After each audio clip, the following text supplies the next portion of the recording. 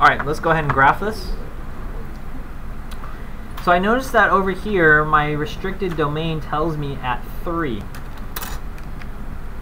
let me go ahead and draw that line at 3.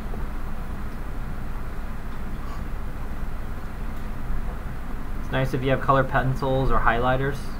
Kind of visually see it. And let's go ahead and graph uh, x minus 1. Remember, try to use in a pencil first and then go back and you can use your colors. So class, where am I starting? Negative 1. What type of slope? Rise of 1, up 1. Up 1, right 1. Okay, here, what do I do? Open or close? It's closed because it's what? It's an equals. So go ahead and draw your line.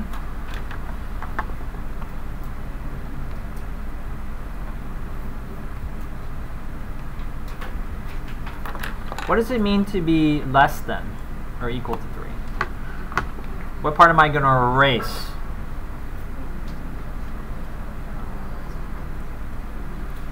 Well, I'm going to highlight in to the left, right? So that means I need to erase everything to the right.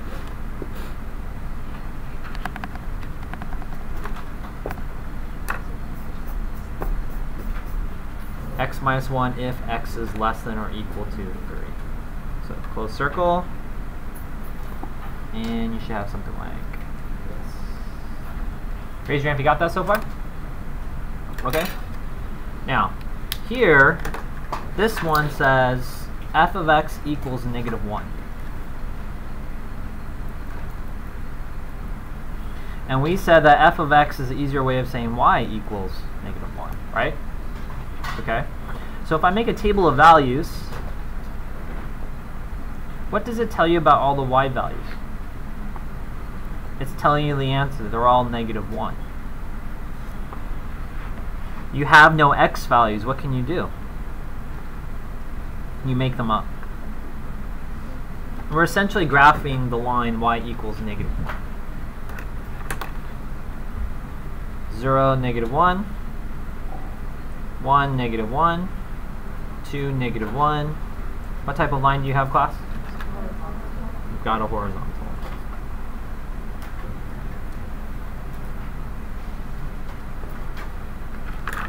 Okay. Uh, open or close circle? It's an open circle at x equals 3. And I need values that are greater than 3. So where's that going to be? To the right.